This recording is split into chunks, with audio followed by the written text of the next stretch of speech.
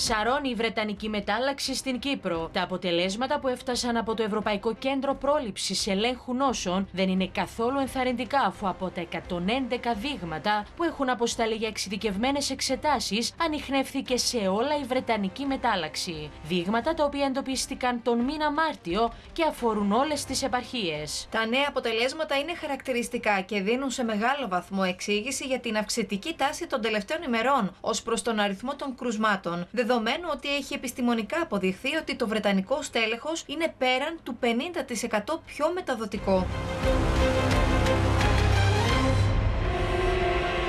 Εκτό των ορίων ασφαλείας βρίσκονται όλοι οι επιδημιολογικοί δείκτες σύμφωνα με την εθνική αναφορά. Σήμα βελτίωσης καταγράφει η επαρχία Λεμεσού, αντίθετα με τις επαρχίες Λευκοσίας και Λάρνακας, οι οποίες παρουσιάζουν επιδείνωση. Το 40,5% των επιβεβαιωμένων περιστατικών που εντοπίστηκαν τις τελευταίες 14 ημέρες είχαν τόπο διαμονή στην επαρχία Λεμεσού, το 32,9% την επαρχία Λευκοσίας και το 15% την επαρχία Λάρνακας. Όλες οι επαρχίες βρίσκονται πάνω από το όριο ασφαλείας. Σημαντική αύξηση παρουσιάζει η αθρηστική επίπτωση των επαρχιών Λευκοσίας και Λάρνακας, ανεβάζοντας παγκύπρια την αθρηστική επίπτωση ανέ 100.000 κατοίκους στα 621 επιβεβαιωμένα περιστατικά. Αύξηση της τάξης του 0,2 με 0,4% παρατηρείται και στο εβδομαδιαίο ποσοστό θετικότητας σε όλες τις επαρχίες. Χρειάζεται εξαιρετική προσοχή πλέον διότι η διασπορά του ιού φαίνεται είναι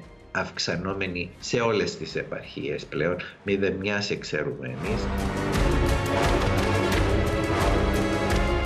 προσοχή στρέφεται στις μονάδες εντατικής θεραπείας όπου νοσηλεύεται ένας μεγάλος αριθμός ασθενών με το σύστημα υγείας να πιέζεται για άλλη μια φορά. Εδώ και οι μέρες και οι θάλαμοι COVID καλούνται να αντιμετωπίσουν ένα νέο κύμα εισαγωγών. Με την επαρχία Λεμεσού να εξακολουθεί να αποτελεί την κύρια πηγή εισαγωγών.